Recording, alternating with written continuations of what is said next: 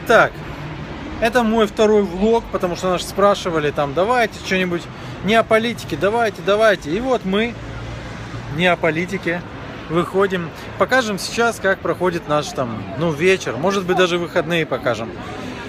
Э, куча парижан сидят, кушают. Мы выходим из своего, из своего укромного местечка в Ихдыне и, и идем по улице. Ну, на улице вы ничего такого нового, интересного для себя не увидите.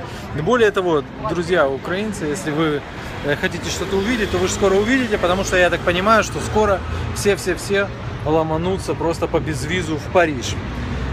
Потому что все, кого мы спрашивали когда-то в свое время, куда вы хотите, все говорили, куда? Париж! В Париж! Вообще, чем, вот как, почему, как, почему, почему я люблю Париж? Я бы мог сказать, э, как бы больше, почему я не люблю Париж. И тут много чего можно перечислять, начиная от того, что он немножко темненький, э, темненький имею в виду от лиц. Ну вы, короче, кому надо, то кому надо, тот поймет. Это из толерантности мы не будем уточнять. Грязненький. Вот. Грязненький, да, здесь толерантность ни при чем, он реально грязненький. С собакой Он- тяжело гулять. С собакой тяжело гулять. Э, Поесть свет- тяжело. светофоры в 40-х годах, как их сделали, так они и остались. Ну, то есть поесть, да, тяжеловато, потому что это как в Ницце. Пока ты Нет, найдешь... или есть ужасающие какие-то места, где лучше вообще не заходить. Или красный. Или э, вот мы обсуждали, что есть очень много ресторанов, где ты приходишь и тебе дают карту, ты смотришь, наедаешься, а потом тебе приносят счет. И как бы, ну, я считаю, что это немного перебор. Ну, это типа для блатных людей, мы люди скромные и, э, и скромные. Ну, конечно, вот это вот еще одна причина. Видите этих ребят? Они спят. В принципе, они никому не мешают, если сказать по-честному, да? Но они никому и не помогают, потому что мы заходим, э, мы заходим в метро и видим, как стоит какой-то пацан и писает. На плакате написано Ольга Пикассо. Это почти то же самое, что Саша Спилберг. И многие из вас, конечно, скажут, да показывай нам лучше достопримечательности. Ребята, достопримечательности здесь на каждом углу и на каждом шагу. Это, это, кстати, очень круто. Мне это очень нравится. И вот это вот основная вообще тема, почему мне нравится этот город. Вот потому что ты по этому городу даже просто ходишь, гуляешь, и вокруг все Сочиться. сочится просто 16, 14, 12, 11 и 18 Ну, веком. Да 11-м, ладно. Ну давай, покажи мне, 11 век. Ну пошли покажу сейчас. Пошли. Вот, видишь, мусор валяется на, на, на, на- видишь, на полу. Видишь? Смотри, видишь? Вот как по мне, так это вот, блин, мать его, 11 век.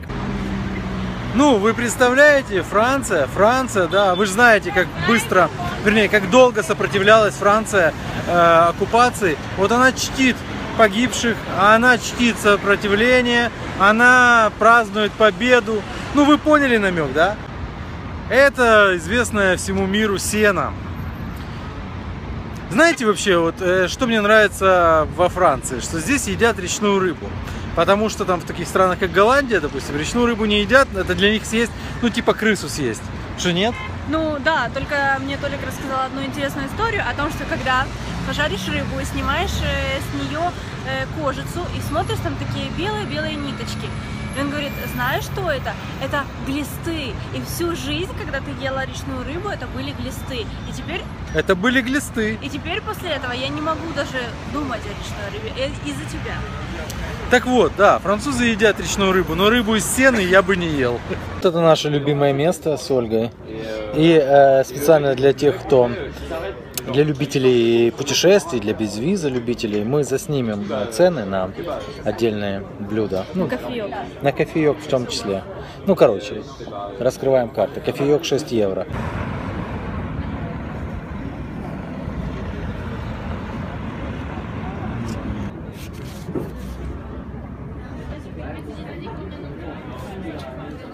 Дабл кафе. 7 евро, 6 евро, 8 евро, 6 евро. Толик, где такую машину нарыл? Места надо знать. Под Парижем, короче, есть место, но потом расскажу, не на камеру. Спасибо, спасибо. Телочки тоже все заценивают.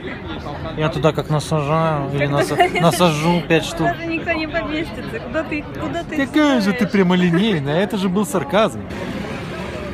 Наконец-то я поела, потому что я просто думала об этом последние 6 или 8 часов. А что вы кушаете? У меня лосось с пастой. И здесь такой вкусный соус, что я просто хотела бы узнать его рецепт, потому что это просто божественно, честно. Жлобски мы как-то себя ведем. Еду пустим. М, дело не в этом, что люди не видели еду. Может быть, люди как раз могут пойти и приготовить такое же, потому что Так как этот блок ни о чем, то вот ни о чем продолжается. Мы уходим от нашего любимого ресторана. И сейчас ночь. Да-да, не удивляйтесь. Сейчас на самом деле ночь. Уже э, начало 11 ну, можно сказать, конечно, вечер, но на самом деле эта ночь, она похожа на белую ночь. И в этом тоже прелесть Парижа.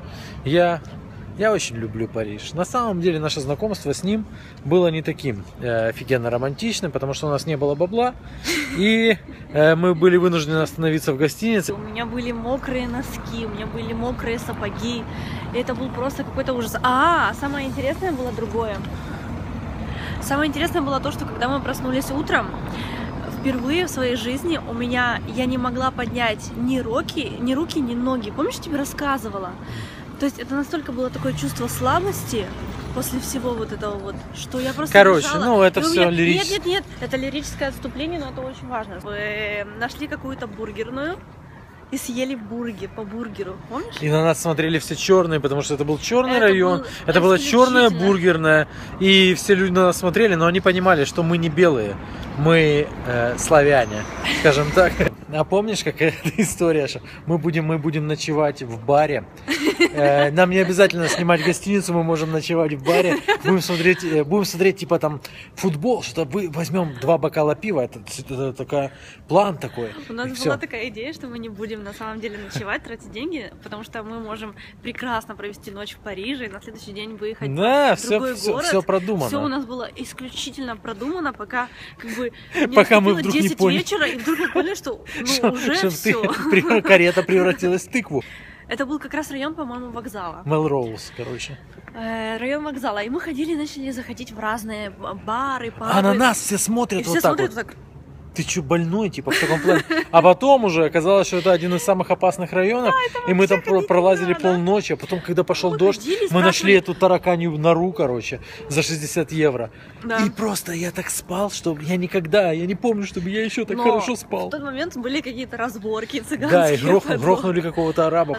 Но прошло время, и вот мы идем, белая ночь, и Оля вся в белом. А это наша тусня. Идем мы, приобщились к молодежной идем мы, тогда мы давно к ней приобщились. Но я люблю это движение. Эта башня известна, конечно, всем. Эта башня известна, конечно, всем. Когда-то ее называли реально шрам на теле Парижа. Вы знаете, что Эйфель, тот самый Эйфель, построил еще одну шла- шлабуду в Украине. Но эта шлабуда Да. уже заржавела. Кстати, есть. Это какая-то чуть ли не электростанция. Не знаю, Да. что это. Но Да. она очень странная. Да, Но ее э- никто не как бы не. Но не ее уже никто не ремонтирует, и ей конец. Это я к чему? Это я к тому, что... Это если бы в Украине жил Эйфель, то так бы он и помер Эйфелем никому не известно. Да. К слову, вы знаете, что такое парижский ужас? Мы только что обсуждали о том, что было бы интересно пообщаться с людьми, э, чьи э, дедушки, бабушки уехали свое время во Францию, о том, что это аристократы, на самом деле, понимаете они то, что они аристократы. Бывали ли они в России? Чем они сейчас занимаются? Ну да, Чем занимались их де- деды? Деды, допустим, да, чухнув из России в свое время, э, они же массово таксистами стали. А насколько надо себя поломать, чтобы, будучи аристократом, до которым подтирали задницу, грубо говоря, сесть э, за руль такси. Аристократа мы подумали, что с чего на самом деле стоит аристократ и аристократия, вот которые действительно всю жизнь превозносили вот так вот то, что по крови человек может быть благородным. А ведь появился человек не по крови, провинциальный, имею в виду, провинциальный человек. Ведь Бог послал Иисуса именно через... э, Он послал его как провинциал, он же не послал его как аристократ. Ну да. Ну вот. Ну, мы-то тоже как бы... Я-то тоже типа по крови аристократ, да? Потому что... Потому что кто я? Но разве это делает из меня аристократа? Я же могу быть э, поконченным жлобом, даже будучи дворянином. Ну да. Хотя я полагаю, что вот эта вот вся моя гениальность друзья мои, она как раз все-таки на несколько процентов состоит из того, что предки мои были дворянами. Кстати, сегодня пришла новость о том, что вроде бы нашли ген ума. Опа! Что существует ген А ума. нашли у меня. Вот зачем ты сейчас это делаешь? И я сегодня еще прочла один момент о том, что Где? человеческую, в докторе Живаго, о том, что человеческую природу, как вот плохую, какое-то плохое, эм, то, что существует в человеке, как его можно м, убрать, погасить. И э, там высказано мнение о том, что на самом деле все это надо делать силой и наказаниями. А, там интересная мысль высказана, как диалог в диалоге говорится, о том, что нет, на самом деле опыт человечества показывает то, что как раз человек переступает и переходит вот это все плохое, когда он усмиряет спокойствием и добром себя. Взять в руки духовно себя перерасти, они все действительно усмиряли какое-то свое плохое существо, которое в них существует. Разве нет? Ну, полагаю, что да. Полагаю, что да. Вот к слову, я всегда думаю об одном. Что надо иметь в голове, чтобы построить впритык к Эйфелевой башне вот этот дом. Я помню на Богдана Хмельницкого, да? На Богдана Хмельницкого, или как она называлась? Что именно? Или на проспекте Шевченко, там такие дома влепили. А, Дерьмо. на Богдана Хмельницкого есть напротив оперы. Да, напротив оперы влепили такой дом, я его уже давно снес.